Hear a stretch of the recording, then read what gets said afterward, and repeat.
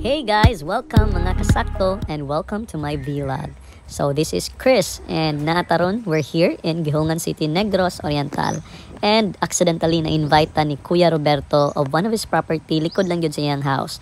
Nagilakat na mo mga around siguro pila katikang lang siguro kaabot og 100 katikang na nata sa iyang beach and then I sand na white pag yun and then lapad kay ang Bermuda. So guys, grabe kayo kay cloudy ang pag pag-anhin ako diri and then nagdali in town mig pitch may gani gitabangan ko ni kuya. Nakita siguro siya na ako nga dalag daghan kay kog dalang gamit.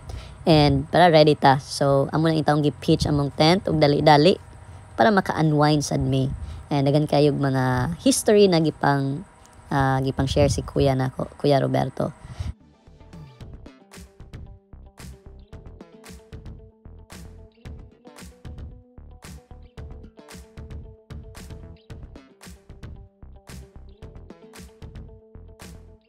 So nakanindot po diri kay makakita po tag mga locals guys na nag-fishing in town sila para silang daily living na makita ta na silang panginabuhi in town makakaon sila sa adlaw-adlaw. And si Rin kayo ang place kay ako ra in town diri usa and thankful ko kay giingnan ko ni kuya na intaw gipaninguhan niya na imagine kung gabi diri ngit-ngit kayo kay ako ra in town usa pero safe ra gyud kuno diri. So ni trust na gyud ko ni kuya tanan. Uh, na sakto ra gyud ang ako ang pag-anhi. And of course, excited kay ko guys na dadon ako ko kauban diri sa Biopower Campers. Hi to Sir Romjo and the rest of the gang. No, grabe diri excited na kay ko na dadon ko diri. Of course, gingnan po na ko si Kuya na nakoy pang dadon diri ng mga office mates kay nindot jud kay yung place. I'm sure mag-enjoy ni sila kay lapad jud kayo ang view, makita ka sa dagat. And then nindot pud kayo jud iligo in town sa dagat. Galing ako lang itang usa niya basi malumos ko or magka-cramps ko na hindi na ako kabalik sa ako ang balay.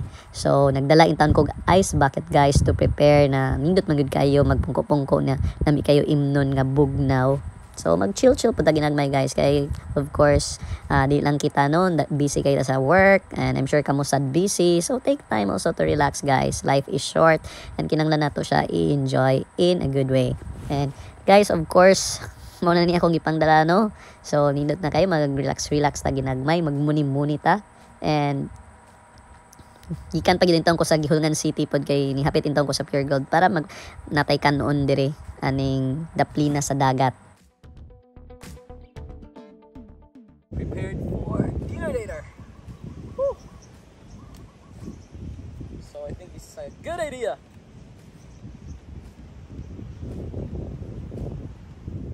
And kinumdum mo sa linog no na epicenter man din gihulungan so daghan day kay ni ko makita mo sa bato these are all coral reefs na na-destroy sa linog actually this is trekking so happy I can know and ang katupong bagyos ni sa to katong lately na diri pod sa oriental ni Igo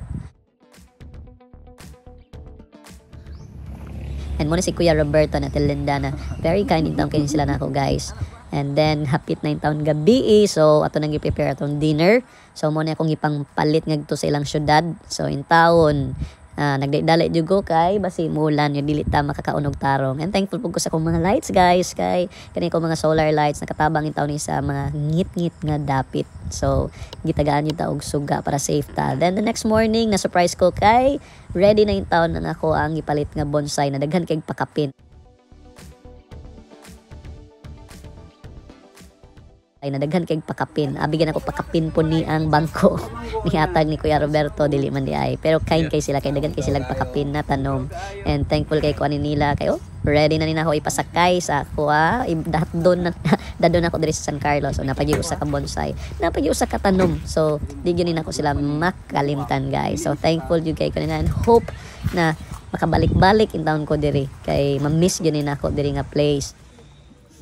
Among gining baga Okay, cheers!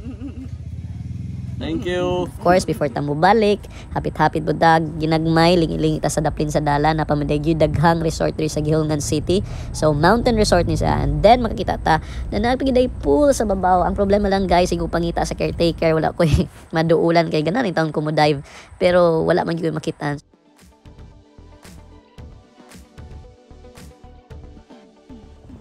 So ni uli na lang ko nakita ko mga handicrafts nila diri o nami kay pamaliton ta galing na lagi din taon natong kwarta.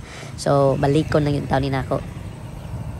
Then, diri guys, before ta mo balik, taon gutom na kayo. So, ni hapit po tag lunch diri sa kilid sa baybayon gyapon going na ni sa San Carlos City and guys FYI na sila band every ah I think Friday night man siguro pero pag na ako nag-prepare na in town sila silang mga sound system and kani siya guys? Sikat ni sila sa seafoods na mga shrimps and chicken.